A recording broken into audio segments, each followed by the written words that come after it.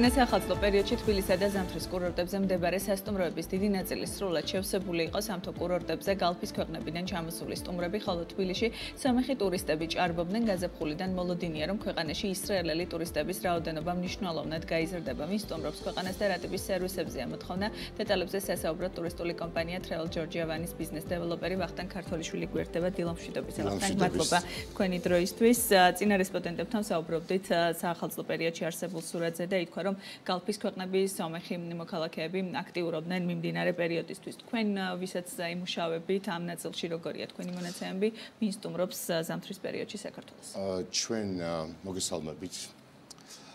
ჩვენთან როგორ არის ძალიან მიქსი იყო წელს სასამხედროდანაც უმასპინძლად ახალ წელს უმასპინძლად თურქეთიდან აღონ დაჭარის რეგიონში ასევე უმასპინძლად რაღაც პატარა რაოდენობა ინდუსებს თუმცა ველოდებოდით უფრო მასშტაბურად თუმცა იყო ესეთი ხარვეზი რომ არ მისცეს ჩვენს ბევრ ტურისტს ვიზა და შემდეგ რაღაც ხმები დაირხა ესეთი ქალაქში, რომ არის რაღაც გარკვეული ჯგუფი, რომელთა ტურისტებიც პრიორიტეტშია და მათ უპრობლემოდ აძლევენ ვიზებს და შემოდიან დიდი რაოდენობით, თუმცა მათ უკან დგანან ინდუსები. ამათ ვინ უკეთებთ ამ ვიზებს? ეს ინფორმაცია ჯერ არ მაქვს. ტურისტულ კომპანიებს პრობლემები ექნებათ და ვისი მხრიდან ხდება ამ შემთხვევაში რა დამატებით? იცით რა არის ივიზის პლატფორმა ფიზიკურად ვერ მუშაობს. ისინი თვითონ ჩაეწერნენ საკონსულოში, რაზეც მიიღეს უარი. ან ჩვენ ვერ დავეხმარეთ მათ ვიზების მხარდაჭერა ვერ გაუწიეთ. და მათი რაოდენობის ზრდა ახლა უკავშირდება ამ ნაწილსაც რა? იმიტომ რომ როგორც არასდროს ამ სეზონზე იმდენად ბევრი ინდოეთის მოქალაქე სტუმრობს შესამჩნევია მაღალმხარჯალუნარიანი ინდოეთის მოქალაქეების რაოდენობა რაც წინა პერიოდებში ასე ტურისტული მიზნებით ნაკლები იყო ხოლმე. ამ ხელი შეუწყო რომ პირდაპირ რეისი დგას ინდოეთიდან თბილისის მიმართულებით შესაბამისად მათი ტრანსპორტირება გაცილებით კომფორტულია და აქედან გამომდინარე გაიზარდა მოთხოვნაც. რომელ კურორტებზეა განსაკუთრებული აქტიურობა, რომელი ქვეყნებიდან კიდევ რამდენად მხარჯვალუნარიანები არიან ინსტუმრები, რომლებიც წელს ქვეყანას სტუმრობენ? ვიცით, ჩვენ შემთხვევაში ყავდა ასევე პატარა ჯგუფი ამერიკიდან. თუმცა შედეგებს უფრო ესეც მასშტაბურს ველოდით. მაგრამ ისე აღმოჩნდა, რომ თვითონ აი მაგალითად სასომხეთიდან სომეხი ტუროპერატორები ოპერირებენ ისე ჩვენი ქვეყნის გვერდის ავლით. და ანუ კონკურენტუნარიან ფასს ჩვენ ვერ ვაძლევთ იქიდან გამომდინარე რომ მათ შეუძლიათ ჩვეულებრივად უპრობლემოდ ფასი დააგდონ იქიდან გამომდინარე რომ სახელმწიფოს არაფერს არ უხდიან. და ჩვენ ვერ ვწევთ, იმიტომ რომ ჩვენ საშემოსავლოს ვიხდით ვიბეგრები და ასე შემდეგ. ეს ახალი ტენდენციაა და ბევრ ქვეყნის ქვეყნიდან გამომდინარე მსმენია რუსეთის მიმართულებით რუსები თავად კომპანიებს ქმნიან და თავად აწოდებენ სერვისებს ინდოეთი ახსენეთ, სომხეთი ახსენეთ, ეს რამდენად მასშტაბური სახე აქვს ამ ყველაფერს მიცემული და რა მიგაჩნიათ ადგილობრივ ტურისტულ კომპანიებს ვითარების გამოსწორების საუკეთესო. მე ვფიქრობ, რომ სანამ არ შეიქმნება რაღაც გარკვეული სტრუქტურა, რომელიც ამას დაარეგულირებს, რომ საქართველოს ესეთი ქაოსი არ იყოს ტურისტულ სფეროში. მანამდე ვერ ვხედავ გამოსავალს, იმიტომ რომ უნდა იყოს საერთაშორისო სხვადასხვა ქვეყნებიდან თავშექმნილი. კი. რამდენად დიდ კონკურენციაში შემოდიან თქვენთან? ძალიან დიდ კონკურენციაში. ჩვენ მათ ვერ უწევთ კონკურენციას იქიდან გამომდინარე, რომ მათ უბრალოდ ფიზიკურად -18% რო გავუკეთონ, უკვე ჩვენ ვერ უწევთ კონკურენციას. აქედან გამომდინარე, უნდა არსებობდეს რაღაც ორგანიზაცია, რომელიც ამას დაარეგულირებს და ჩვენ ტუროპერატორებს რაღაცნაირად ბერკეტი გვექნება, თუნდაც დაჯარიმების ან რაღაც მსგავსი უნდა შეიქმნას ორგანიზაცია რომელიც დაარეგულირებს ამ ბაზარს. თბილისში მუშაობენ ესენი მხოლოდ თუ ამ კომპანიები თუ საქართველოს. აი მაგალითად დღეს ვიყავი დილით გუდაურში ანალოგიურად ინდუსები თვითონვე არიან ძღოლებიც, ტუროპერატორებიც, გიდებიც და ასე შემდეგ. თუ გქონდათ რაიმე ან შეხვედრა ან რაიმე ტიპის კომუნიკაცია შესაბამის უწყებებთან თუ გაქვთ მათთვის მიწოდებული ინფორმაცია? ჩვენ პრეტენზია განაცხადეთ, თუმცა მათი მხრიდან არ მომხდარა ამაზე რეაქცია. არანაირი. კარგი, რომ დაუბრუნდეთ ქართულ ტურისტულ კომპანიებს, ისინი როგორ მუშაობენ და რამდენად არსებობს ჯავშნები, მომდენო სახალხო პერიოდმა პრინციპში გადაიარა უკვე მომდენო თვეების განმავლობაში თუ გვაქვს ჯავშნები, რომელი ქვეყნებიდან თქვენ ნაწილში რამდენად დატვირთულია სასტუმროები, ვისაც თქვენ თანამშრომლობთ? ჩემ ნაწილში გაზაფხულზე აბსოლუტურად ისეთი პერიოდი გვაქვს, ანუ light-ი ასე ვთქვათ.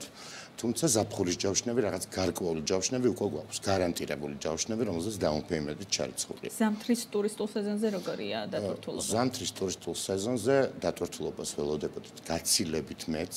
აი მაგალითად ჩვენ ყავს პარტნიორი სასტუმრები გუდაურში, მაგალითად ერთ-ერთი არის Western გუდაური, სადაც ასევე გახსნეს ინდური რესტორანი სპეციალურად რომ მოვრგებოდით.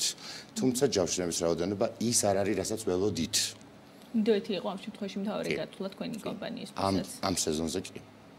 მათ გარდა კიდევ ინსტუმრობს წელს ნაკლები იყო ზამთრის სეზონზე ისრაელელი ტურისტები, რომელიც ერთ-ერთ ყველაზე ხარჯომუნარიანები იყვნენ საქართველოსთვის. აი ამ იყო, მაგრამ ძალიან ცოტა. აი პირადად რაღაცა ჩემი მეგობარი კომპანიებიდან 1-2 ჯავშანი შემოვიდა, თუმცა გაზაფხულზე უკვე გვაქვს. რადგან ტიპის ჯავშნები.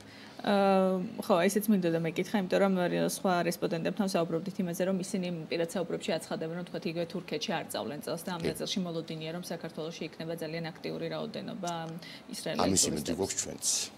არის უკვე წინასწარი ჯავშნები, იმიტომ რომ მაინც გარკვეული რაოდენობა არის, თუმცა ვერ ვიტყოდი, რომ ეს არის რაღაცა გრანდიოზულად დიდი ციფრი. დაახლოებით თქვათ რაც გქონდა შარშან, იმის 10%. 2023 წელი როგორი იყო თქვენი კომპანიისთვის? რამდენად კარგად დასრულდა წელი?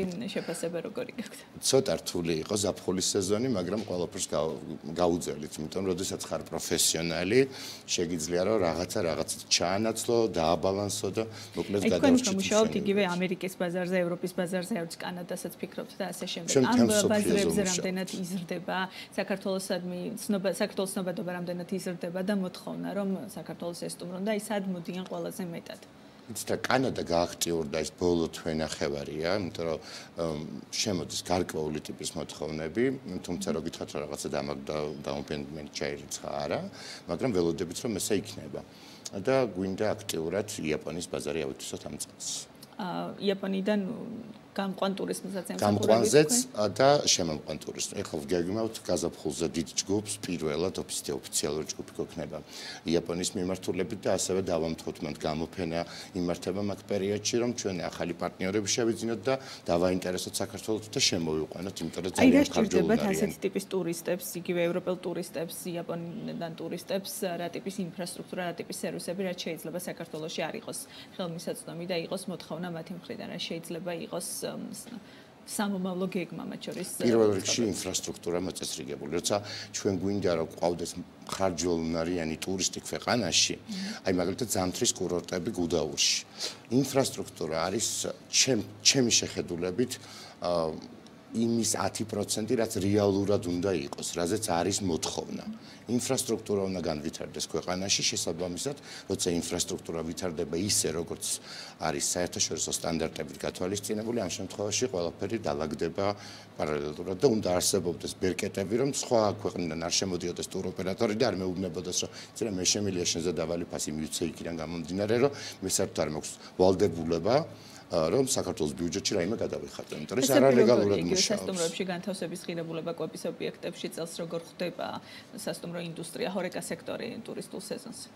მოხონდენ გამომდინარე. ცით სასტუმრო სექტორზე ალბათ უფრო სასტუმროს თანამშრომლები. ხო, თუმცა თქვენ რადგან თანამშრომლობთ საუბრობენ, თუმცა მეგობილია ხა იმის საქართველოს დასვენება გაუძურდათ თუ არა ტურისტებს და რამდენი. პირიქით, ზოგიერთმა სასტუმრომ პირიქით, რადგანაც შემცირდა ჯავშნები, დაწიეს ფასები და სპეცშეთავაზებები გააკეთეს, როგორც ბაკურიანიდან, გუდაურიდან, ნუ ვერ ვიტყოდი გოდერძე, იმიტომ რომ გოდერძე რამოდენიმე სასტუმროა და მაღალი სეგმენტის და შესაბამისად ფასი ძალიან არ დაუწევიათ, თუმცა გუდაურმა და ბაკურიან და გარკვეულმა სასტუმროებმა სადაც ჯავშნები მოიხსნა, ფასები დაწიეს. გოდერძისადმი არის ინტერესი წელს? კი, არის. ძალიან ცოტა რაოდენობით. ჩემ ანუ ჩვენ კომპანიას და თქვენი კომპანია ასევე მსახურება გამყვან ტურისტებსაც ვახსენე, რამდენად აქტიურობენ ქართველები დასვენების ქართველები ძალიან აქტიურობენ. მოგზაურობენ ძირითადად. ეცელს ძალიან მოდური იყო, ახალ წელს დუბაიში შეხვედრა და ჩვენ გქონდა ბევრი შეკვეთა. ასევე თურქეთი ევროპა საფრანგეთის მიმართულებით იყო ჩვენგან ძალიან ბევრი ტურისტი გასული ქვეყნიდან და იტალია. მადლობა ვახო თქვენი დროისთვის, მადლობა რომ სტუმრობდით საქმე დილას, ვახტანგ ქართველიშვილი Travel Georgia-ვანის ბიზნეს დეველოპერი იყო ჩვენთან ერთად.